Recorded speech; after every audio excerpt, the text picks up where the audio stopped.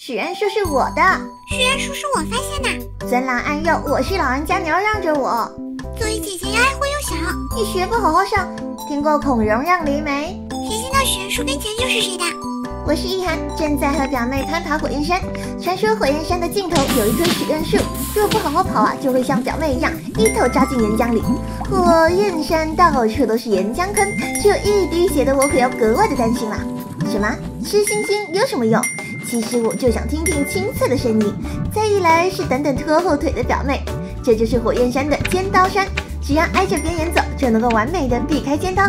没想到炎热的火焰山也有清凉的水池啊！可千万别往里头冲啊，这里头住的可是食人鱼，分分钟把我们当肉吃。熔岩洞穴，当心脚下，可不能够碰到岩浆了。的是防。这表妹已经追上了，这火焰山可真热，汗流浃背的。表妹，你休息一会儿，休息一会儿。不不，本身就跑得慢，再休息就要被超越了。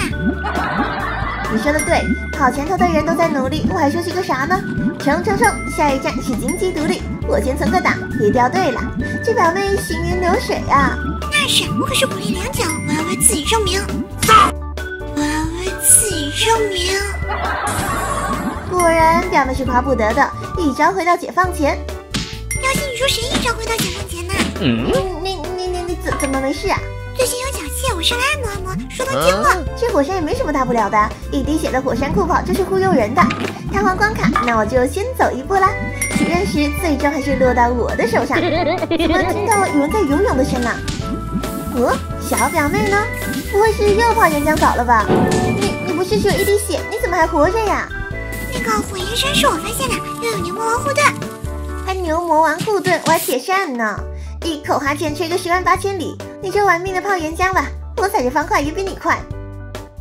消失的公路，这条星星走道在指引我，把它们全部都吃掉，让小表妹在里头泡澡。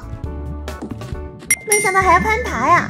为了节省时间，我决定不开窗户了，以我的体重，按照行重力完全没有问题。